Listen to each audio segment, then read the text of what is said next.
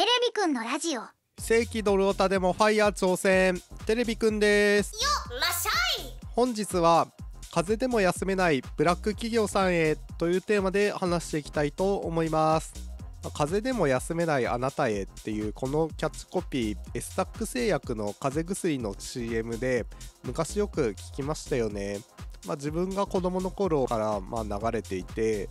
で風邪でも休めないとかもおかしいだろうって当時から思ってたんですけど、まあ、このコロナ禍の時代でもうようやく苦情が来てもう時代に合わないから変更って形になったんですけど、まあ、それでまあ良かったなって思ってるんですけどいまあ、だにその昭和の価値観を引きずってる世代がもう幅を利かせてるんで少し体調崩したぐらいでもう休むなよとかもう内心を持ってるおじさんもいるかと思います。で今言っているブラック企業の部長さんがもう梅沢富美男みたいなもう声がでかくてでもう我が強いもうバリバリ昭和のパワハラおじさんみたいな感じなんですけど、まあ、多分そんな感じでもう自分は体調崩しても会社に来るぞとか言ってもう自慢げに話しちゃうタイプなんですよね。で今日はそんな風邪をひいても休めなそうなブラック企業の実態について話していきたいと思います。このチャンネルでは非正規ドロータ35歳ボカロ P がファイヤー達成までの日常をアウトプットしていくラジオ形式のチャンネルです。よければチャンネル登録グッドボタンよろしくお願いします。始まる実はこの動画を撮っている2023年3月の8日なんですけど、まあ、喉を痛めて会社を休んでいます、まあ、昨日も休んで、まあ、2日間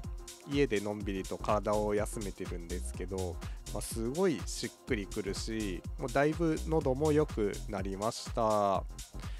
もうこの2日間好きなだけアニメを見てもう YouTube 見てもうしこってもう昼寝するっていうもう去年もうニートしてたもう気ままな日々が戻ってきた感じがして最高でした。いや本当に自分はこの日常を求めてるんだなってもう改めて認識して早くファイヤーしたいって思った感じです。まあ、今はもう派遣で仕事も簡単で楽でもう自分がいなくても、まあ、泊まっても別に問題ないから、まあ、ちょっとまあ喉痛いし仕事行くのもしんどいなっていうことでもうサクッと迷わず休みの連絡を入れてで会社のことなんか気にせずに休んだんだけど、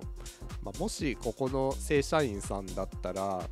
もう出張とかもう客との約束とかもそのその他もう山積みの仕事でもう休みたくても休めないみたいな状況だったと思います。その上もう部長的な50代のおじさんがもうパワハラ体質を引きずっててで大雪の日でももう前日から分かってることなんだから渋滞予測して2時間早く来いよみたいなことを言っててで俺はもう6時半に出社したとかもうドヤ顔で話してる感じで多分もう今このコロナ禍じゃなかったらもう未だに体調が悪くてももう張ってでも会社に来いとかいうもう根性論でどうにかしちゃおうとしちゃうもう終わってる価値観を続けてたと思います。いやマジで根性論終わってますよね。もう風邪でも休めないあなたへってもう体調が悪くても出社することがもう称賛された時代の名残でもう間違ってるんですよ。もう風邪をひいた人はもう休むべきだしもう病気流行らせてでも周囲に迷惑をかける行為だからもう下の世代にこんな根性論を引き継いだらもう絶対ダメだよねって思います。でコロナ対策としてもう政府ももう体調が悪い人は出社とか登校も外出は控えましょうってもうサイトとかポスターとかで告知するようになったしもうようやく働き方が少しずつ変わってきましたよね。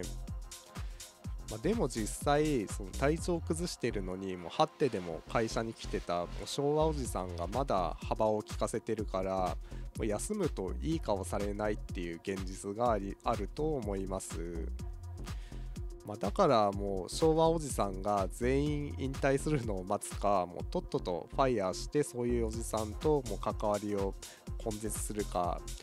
のどっちかかなって思ってますで自分はもう派遣なんでもう1日2日休んだだけならもう特に気にもされないからいいけどもうそれでももう明日会社に行ったらもう休んじゃってすいませんみたいなことをもう形だけでも周りに言わなきゃいけない空気になるんでもう今からちょっと憂鬱だなと思ってます。本当なんか休んだ人が謝らなきゃいけないみたいなそういう社会もちょっと嫌だなって感じですよね。皆さんは風邪でも休めないあなたへのキャッチコピーどう思ってましたか？よければコメントで教えてください。最後に Twitter もやってます。フォローよろしくお願いします。エンディング曲はオリジナル曲のニートでいたいです。概要欄からフルバージョンが聴けるのでぜひ聴いてください。欲しいものリストを公開してます。テレビくんが欲しがってるものが知りたい方はぜひ覗いてみてください。最後まで見ていただきありがとうございました。ありがとう。また遊んでね。